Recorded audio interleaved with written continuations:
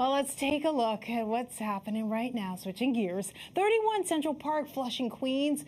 Bayonne, 33. Winds have calmed down a little bit. Winds out of the west southwest tonight. You know what that means? That mild air is going to start to be working in, working in from the southwest. We're looking forward to that. Why? Because it's going to bring these temperatures up. We're going to be topping out close to around 50 at Central Park, 52 Newark. 51 LaGuardia, and it's going to get a little breezy, but it's going to be that nice kind of breeze. Breaks in the clouds. Again, some showers, snow showers, if you will, further north of here. Not an issue. We had some of those flurries come through the area that's out of here. There's another low pressure system, this Clipper system working through the region, but it's going to remain to our north. We're not seeing flakes out of this, maybe a slim chance upper Hudson Valley region. That's about it. But we're going to keep an eye on it. We're also keeping an eye on this system. This is more complex.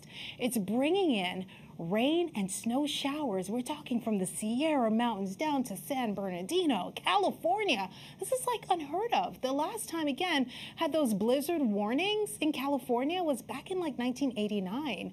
Right now, if you look at Los Angeles, something you don't see all the time, winter storm warning, winter weather advisory in and around Southern California.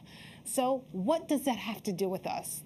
This area of low pressure, my friends, is going to be making the trek from one end of the country to the other side. So from the west to the southern plains, to the Midwest, to the Great Lakes, and then to the Northeast. On the north side of this warm front, notice how it's going to be snow and that mix, some sleet, some freezing rain, always a possibility. But I'm paying close attention to these winds coming off of the water. So east, southeast winds mean a little bit more of that ocean influence. That low to our north, there's going to be another that's going to develop to our south between 4 and 7 is our start time.